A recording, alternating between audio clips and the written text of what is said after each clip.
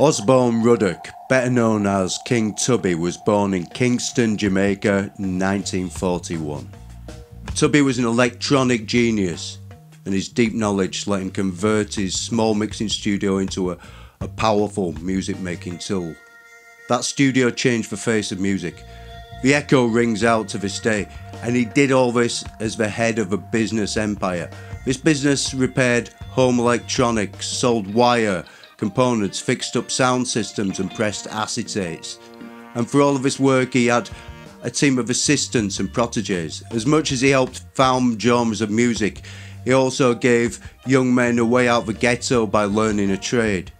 His makeshift studio left hundreds of dubs, but there's very little else. There are photographs, but there's no moving images of Tubby himself. Uh, just one taped interview. So, what was King Tubby like?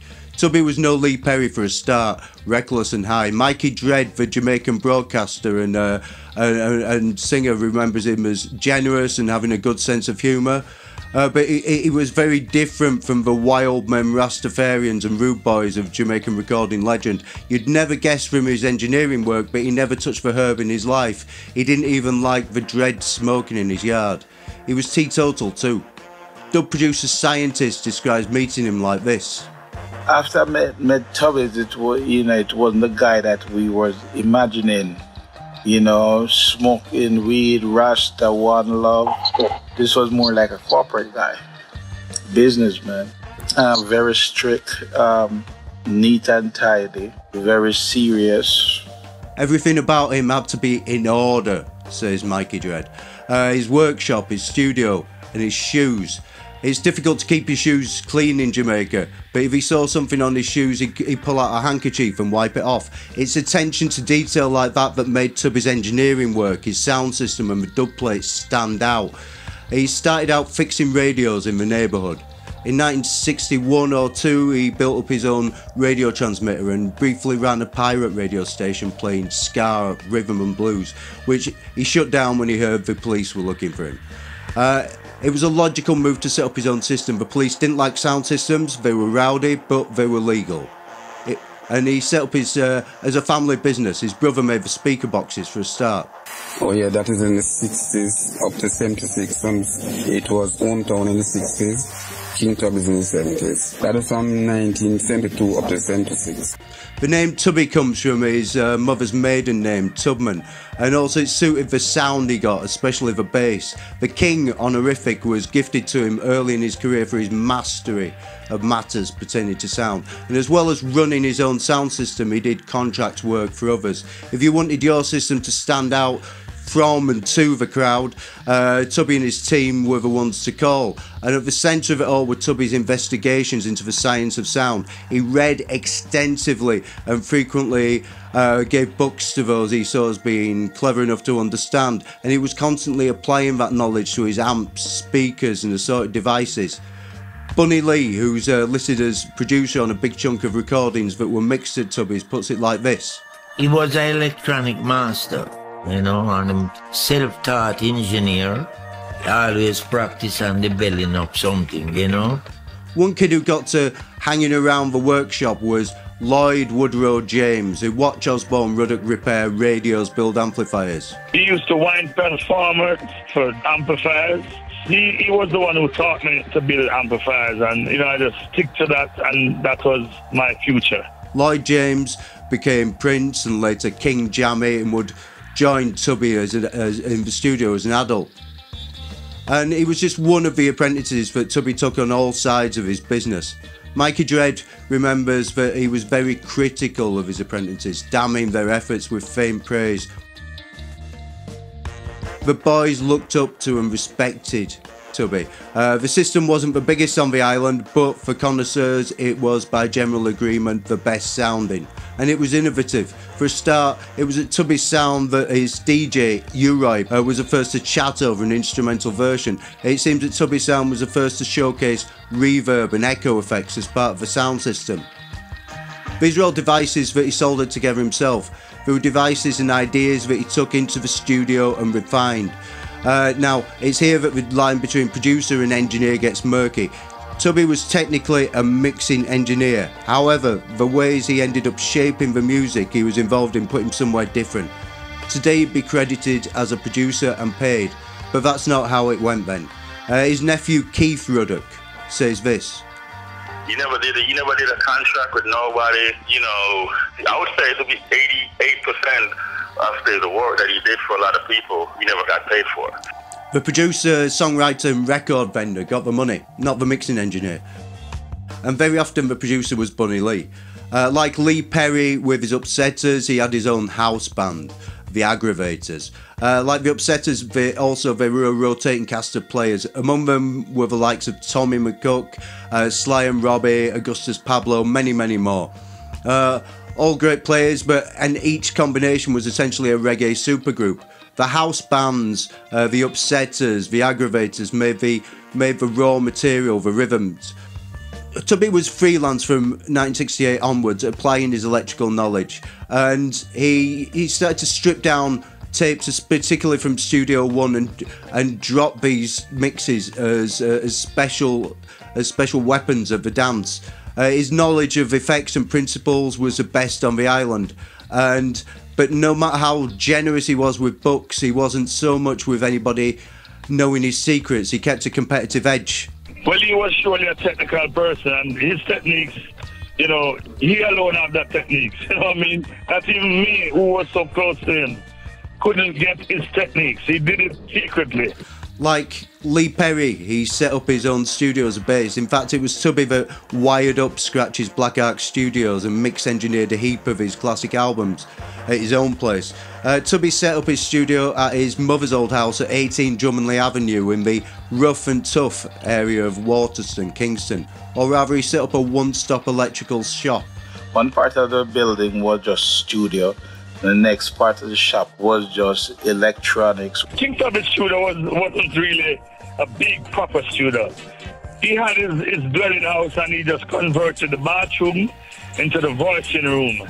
And he had a bedroom next to the bathroom, and that was the, the, the room that he, he, he had his equipment in, you know, like a master room. If Lee Scratch Perry was a shaman, Tubby was a scientist and not even the mad sort. It was an organised business. Optimizing the equipment was just part of making the business run better. Uh, the famous MCI mixing board is an example. For a start, the desk was custom made. It's one of a kind piece. It was also broken, and Tubby and his brother set about upgrading it. The channel was probably like 150 to probably like about 6K, to be honest with you. They, they brought it up to about 12K, drop the bass down to about 20 hertz for real. So they, they replaced all the circuitry inside. In fact, all of the equipment in the studio was customized like this. The reverb was a Fisher, but I mean, that's not a Fisher reverb like he say? That's a King reverb, you know. The Fisher Space Expander, apparently, if, uh, if legend is correct, was designed to be a real spring reverb for your car radio. How that sounds on a on a pothole road, I, will let you guess. Um, but this wasn't the best equipment, but it was all customized. It was adapted for the job. He was like the king of that, building effects units and you know and, and reverb units, building preamps, custom preamps, the sound system and building sound system. That's where 99% of the money came. So Tubby had a kind of cottage industry going on. He was engineering records, he was doing versions around the clock, he was running a sound system, building amps and speakers, soldering on through the darkness. His business was churning out acetates as well. we were cutting like two, three hundred dub plates a week, man. When it comes to acetate dub plate, my father and my uncle have the best of that era. But it's what was going on inside the studio that still resonates today. That echo comes from uh, feeding back one of those old tape four track tape machines back into itself so it keeps on repeating and repeating in studios like Black Ark, they were using commercial devices like the Roland Space Echo, but Tubby's didn't have that. They were using makeshift equipment and customized things, and it was perfectly tailored to make the loudest, spaciest dubs. It wasn't just echo and reverb. Tubby made the desk do strange things. Nowadays, DJs use a kill switch uh, to cut certain frequencies, and Tubby's desk is a birth of that. The board that I get from Byron and give to Tubby was an MCI board, and it have some high pass filter on it. I call it the squawky. Them kind of sounds you get from it, you know. That was an exclusive feature because I didn't see any more mixing console with those. People went out and you know, tried to build to imitate King Tubby's high pass filter. They did it, but it didn't come near close to it. It was lovely. That one's known as the uh, Big Knob, by the way, for all you knobheads out there. His main stock in trade was custom dubs. Tubby refined and developed the echo, reverb, and filter effects, but uh, to and use those mute buttons to do improvisations on the mixing board. Those mixes were done to order and live. There were secret weapons at sound systems. Sometimes there was only one copy on vinyl, or rather acetate, and that died. Um, we're lucky though that so much of his work has survived. But here's the thing you might listen to a record with the name King Tubby on it, and it's possible he wasn't even in the room. There were his proteges, the hilariously named Prince, Philip Smart, uh, a Prince, soon to be King Jammy, and from 1976 onwards, uh, scientists. There was usually more than one engineer present. Uh, Pat Kelly and Leroy Fatman Brown, two of them. Um, making a dub record meant you needed a chain of people, and Tubby's was a, a, a perfectly, perfectly engineered factory for making dubs, and a lot of recordings passed through those facilities. Just some of the records that came out of the mixing studio were King Tubby meets the Aggravators, meets Rockers Uptown, meets the Skatalites. Give me more suggestions down there. Part of his business was, of course, running a sound system, and his selectors would have had a special pick from a treasure trove of dubs until the horror year of 1976 when it was shut down. Um, I'll let Tubby describe what happened then. As I said, Easter Sunday 1976 by some police in St. Thomas. They say it was um, violating the law by making noise and disorderly with the sound system. So they come in and smashed up and that was the end of the whole thing. The sound system closed down, but the other areas of his business carried on. He took on another apprentice, Overton Brown, later known as Scientist. He was from a better part of town. His neighbours thought he was involved in crime, visiting someone with the name King Tubby in that neighbourhood every day like Tubby Scientist Dad was an, uh, the neighbourhood electrician, and Tubby took the boy on, seeing potential. So he was there pressing up dub plates and selling copper wire, and sometimes he got to see inside the studio. And the boy watched the man um, making dubs and absorbed it all. One day he made me a bet. I bet if I sent you in there, you would know the first thing to do. And he pretty much lost on his bet by that time, I had seen him and watched him, how he did it. So, and he was promoted to the main team. Tubby kind of cut down on doing dubs for many people and concentrated on other areas of his business. Uh, things were done kind of under his name. His name was a trademark itself. Uh, but there was a problem. Home taping was killing dub. Well, again, the market is really slow at this time. And with the tape, with the cassette machine are coming, everybody just using the tape instead of buying a record at record store.